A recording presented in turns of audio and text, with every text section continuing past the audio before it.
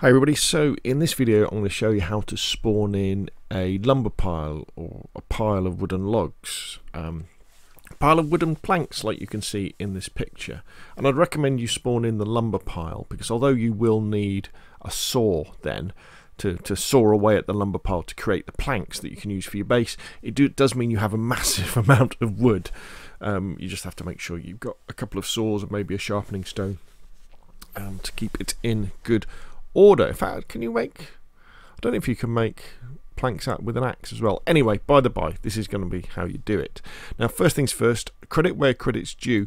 All these new custom spawn item location videos I'm doing have been inspired by the mighty Bhaalshad's Discord. You may know him from, from um, Don Sibley's uh, Discord. And what Bhaalshad has done, he's put together all his XML um, modding expertise for PlayStation, Xbox, and of course PC, and put all those things together in a really nice, easy to read and e easy to understand Discord. Where on the left hand side, in all the different channels, he has nice little snippets that say, look, if you want to do do this, this is how you do it, and you can add those files then into your your own um, your own DayZ servers. Very very good. And in fact, if you go down, there is one that is spawn wooding planks. Here we go. So this is what this video is all based upon. So what I have done is I have also created a handy little um, GitHub repository with a couple of event spawns and event snippets XMLs and a little readme text. So what you want to do is obviously you want to read Bhaalshad's um, bit in his Discord, but you want to download these little snippets. The links to everything are down in the description down below. Um, and on my uh, GitHub repository, you want to download the zip of these files and you want to open them up in your favorite text editor. Recommend Notepad++. And you'll also want to download your um, events.xml file and you'll want to download your CFG event spawns.xml because they're the files we're, uh, we're going to be playing around with. And this is this is the example of static planks GM. Um, so it's just static planks is the name um, I've put GM because they spawn in at Green Mountain. Remember, the start of the event is very important. It must start with static. Um, otherwise, it, otherwise it won't. We've got nominal 40, min max 50. I'm not quite sure why we've got that. You'll have to ask Bhaalshad when they're, we're only going to put them in one place. Um, yeah, it may be because we, we want the, the plank to be full of stuff. Not quite sure, but anyway, but it does work. Um, what I would recommend actually, if you want more of these in different locations, maybe have different events for each one. And as you can see down here in the child, we've got pile of wooden planks. That's the one I'd recommend you use. That that's the one that gives you you know that that kind of that lumber pile, which you then use a saw on.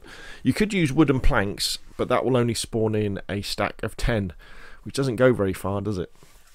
Um, so that's that bit. So you want to copy and paste that into the top of your events file, like you can see I've done here and then uh, the CFG event spawns. This is simply the, the, coordinates. And remember, if you know if you want coordinates, you just go to the I iZurvive map, move your cursor around, press Control C on on your laptop or your PC, and that will copy the coordinates. We've got X and Z for horizontal, so and um, sort of across the map and up the map. We don't have Y because Y would be uh, the, the the altitude um, and the game sorts that out for us. And A is the angle. We don't need to worry about that. So you just copy and paste that with your location of your choice on the top of your CFG event spawn file. Um, and then what you'd want to do is simply go over to your server go into the web interface. I'm using Nitrado as an example here. Go to your file browser and you just want to upload these files over the top of the existing ones. So you go into the missions folder on PC, you've got to dig down a little bit further. Chernarus is obviously Chernarus, Enoch is Livonia. And the CFG event spawns is in this directory, so you would just hit the upload button to upload it over the top. And then the events file is in the DB directory, which is there, so you would upload that over the top of there. Restart your server, and you should find the lumber piles start to appear.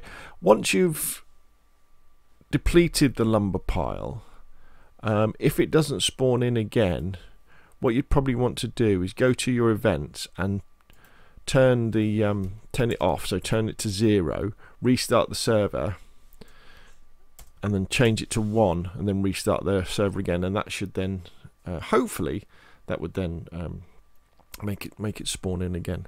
But there we go. Oh, one thing I forgot you could do as well is you should go over to Bhaalshad's PayPal and drop him a couple of bucks for pulling all this amazing information together. And there's his Discord, and again, I'll put a link to all this in the description below the video. There we go. So hopefully you found this video useful. If you have, hit like. If you want to see more of the same, press subscribe.